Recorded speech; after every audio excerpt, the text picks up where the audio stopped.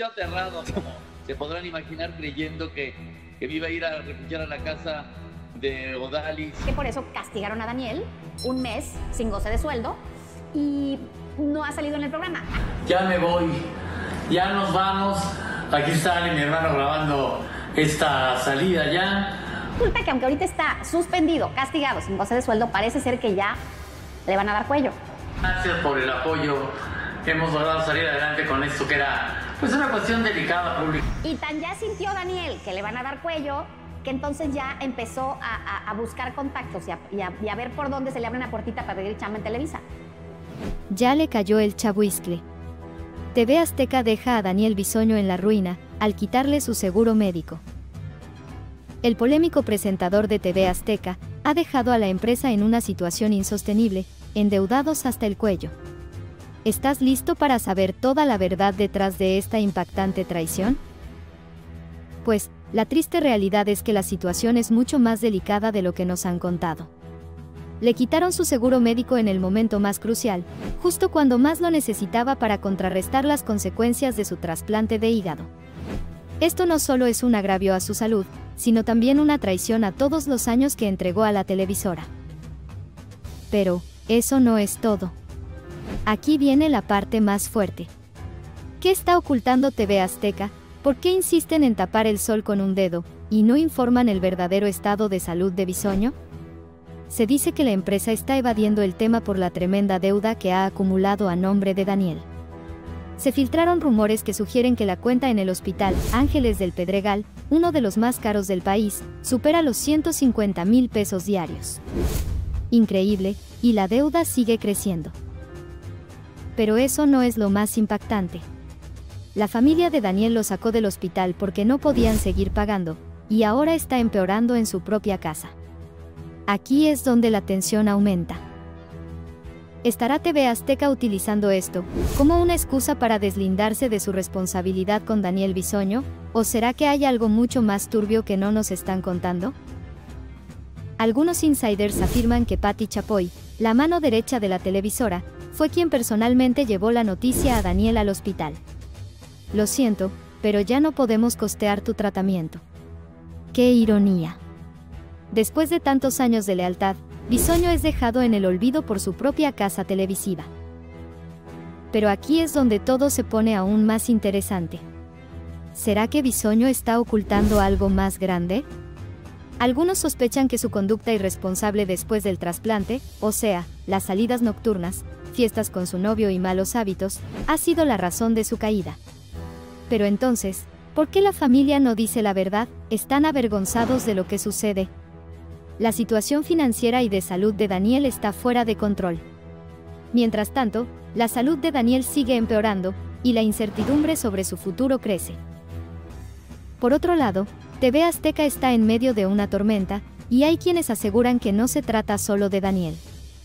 La cadena, cargada de deudas, no está en posición de seguir cubriendo los enormes gastos médicos del conductor.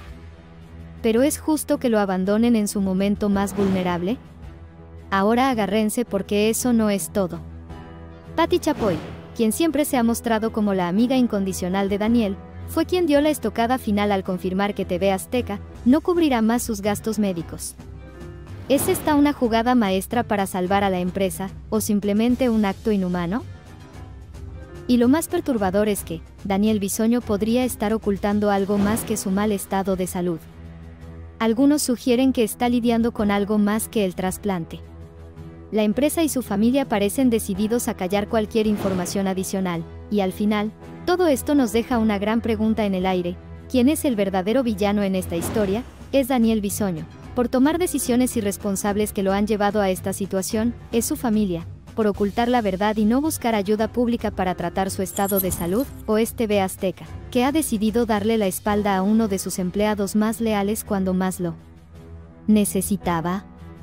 Las críticas están lloviendo sobre la empresa, sobre Daniel y sobre su círculo cercano. Todos están bajo el ojo del huracán, y la verdad pronto saldrá a la luz.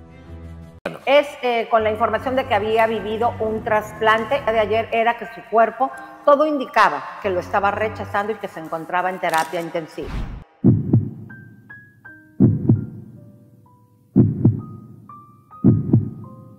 hemos logrado salir adelante con esto que era pues una cuestión delicada público, la verdad.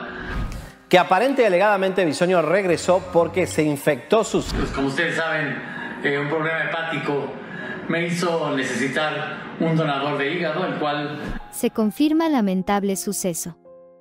Daniel Bisoño en terapia intensiva por infección de máximo riesgo. La situación de Daniel Bisoño, internado en terapia intensiva debido a una bacteria en las vías circulatorias tras un trasplante de hígado, nos lleva a un momento lleno de tensión. Su estado de salud ha sido tema de gran preocupación, no solo para su familia, sino también para sus seguidores y compañeros de trabajo. La incertidumbre sobre su recuperación genera muchas preguntas y especulaciones. La realidad es que Daniel Bisoño está dando todo por su vida. Está en terapia intensiva y, aunque su hermano intenta calmar a la audiencia, los médicos han sido claros.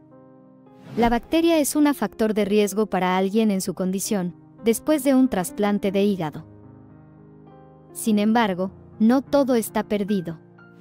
Hay esperanza, y su familia está esperanzada en que Daniel pronto mejore y pase a una habitación normal.